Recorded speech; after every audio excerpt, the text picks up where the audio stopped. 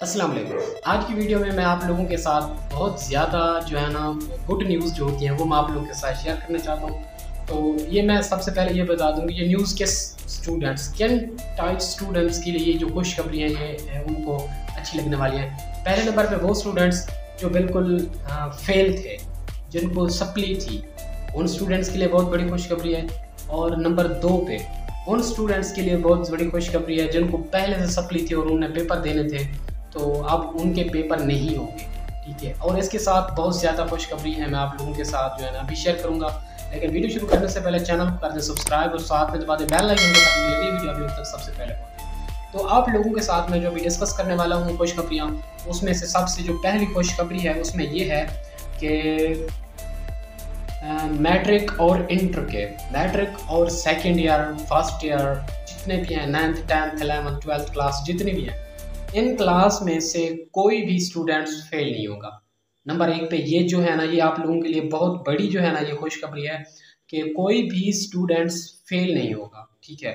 उसके बाद जो स्टूडेंट्स फेल थे मतलब जो स्टूडेंट्स पहले से फेल थे, उन स्टूडेंट्स को थर्टी थ्री नंबर देकर मतलब पास मार्क्स देकर उन लोगों को भी पास किया जाएगा, फेल कोई नहीं होगा। ये दो खुशखबरियाँ होंगी आप लोगों के लिए।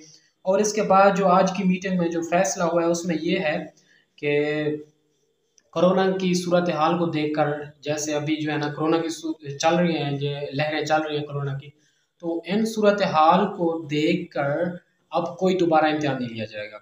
मतलब जो स्टूडेंट्स फेल थे, उन्होंने दोबारा पेपर देने थे, या जो भी था, ये सारा मामला ये सारे ख़त्म हो चुके हैं, अब कोई पेपर नहीं होगा।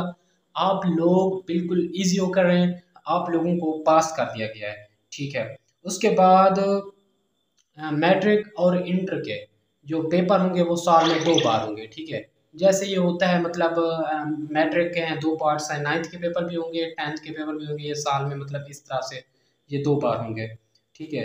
तो उसके बाद, इम्तहानात को सप्लीमेंट्री का नाम नहीं दिया जाएगा। मतलब कोई भी इम्तिहान है, उसको हम जैसे कहते हैं कि उसको भी ये सप्लीमेंट्री ये सप्लीमेंट्री का नाम जो है ना, ये बिल्कुल ख़त्म कर दिया गया है। ठीक है। उसके बाद आइंदा साल मैट्रिक इम्तहान मई, जून में होंगे। मतलब मैट्रिक के इम्तहान जो हैं मई, जून में होंगे नाइन्थ के होंगे टेंथ के हो गए ये जो है ना, ये होंगे जून में। उसके बाद आइंदा साल नया सेशन अगस्त से शुरू होगा। मतलब जो नई क्लासें होंगी, वो अगस्त से शुरू होंगी। तो लगता है ये वीडियो आप लोगों के लिए बहुत ही अच्छी हुई कि खुशखबरी हैं आप लोगों के लिए इस वीडियो में। एक तो आप लोग फेल भी नहीं होंगे, आप लोग जो है ना, बिल्कुल ईजी होकर रहो। आप लोगों के लिए हुकूमत ने इतनी ज़्यादा बहुत अच्छी पॉलिसी बना दी है। मेरे ख्याल से कि ये बहुत ही अच्छी पॉलिसी है, क्योंकि अक्सर स्टूडेंट्स को ये डर था कि भाई, अगर मैं एक एक सब्जेक्ट में फ़ेल हुआ तो मैं पिछले चार सब्जेक्ट में फ़ेल होगा। लेकिन अब ये खुशखबरी आप लोगों के लिए बहुत ही बड़ी खुशखबरी है कि आप लोग ना ही एक सब्जेक्ट में फ़ेल होंगे, ना ही पिछले सब्जेक्ट में फ़ेल होंगे। अगर आप किसी सब्जेक्ट में फ़ेल हो जाते हैं, खुदा ना खासा आपने पेपर दिए हैं, आपको पता होगा आप किसी एक सब्जेक्ट में फेल हो जाते हैं तो कोई डरने वाली बात नहीं है। उसमें से भी आपको पास मार्क्स मिलेंगे और उस सब्जेक्ट के साथ जो सिलेक्टेड सब्जेक्ट हैं, उनमें से भी आपको पास मार्क मिलेंगे।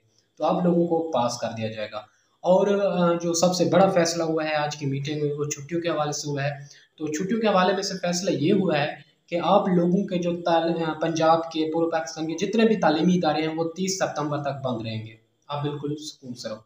तीस सितंबर तक तालीमी इदारे बंद हैं, इतनी बड़ी खुशखबरियाँ मिली हैं आज के इजलास में। तो यार इसी जो है ना, इसी में आकर आपने मेरे चैनल को सब्सक्राइब करके बेल आइकन दबा दो। आप लोगों के लिए मजीद भी मैं अच्छी अच्छी वीडियोज़ लाऊँगा। तो अभी के लिए इतना ही, मिलते हैं अगली वीडियो में। फ़िलहाल के लिए अल्लाह हाफ़